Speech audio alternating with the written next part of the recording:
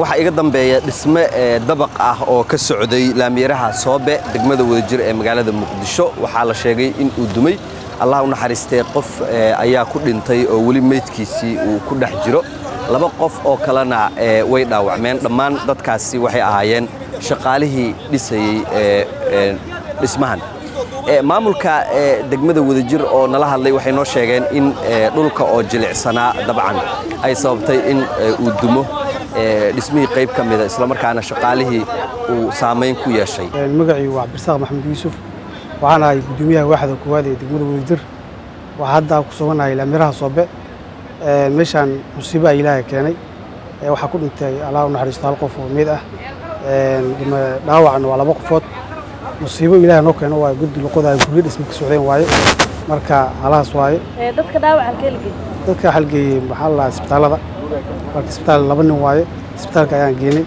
Ninkan kale meydkan hadda ayaan qaadayna hay'adaha amniga ayaan ku wareejinay dadkii injineeradii barnaamijkan lahayn waa lala xisaabtami doonaa. Rajeyn doonaa sidaan waxyaabahan kale in mar dambe soo laabanin aan ka shaqeyn doono. Marka waxaa leenahay walaalkan dhintan ilaahay u naxariisto. Culays kale ma jiro laakiin culayska maanta nagu soo saaid waxa waaye musiibadan ilaahay noo keeno waa marka waa mahadsantihin dhismo socday buu ahaa gudoomiye marka seebuu u dumay macnaha seebay wax u dhaceen arrintaas walaahi dhismaha markuu socdo qadar allah wax walba dhaco qof walba ilaahay inuu wax sidii u dhimo lahayn qof walba ilaahay u keen waa musiibaan leenahay. Marka iyo qaabkii iyo dhismihiisi u socdeen iyo meeshii gudkii gudahii la qodahay ayaa waxoogaa buucaadkii iyo wixii jilceen. Marka saasaas leenahay walaalkiina ilaahay naxariisto culayskaas ayaa jiro waxa kale ma jiro insha allah waxaan jeedi doonaa waxyaabaha kale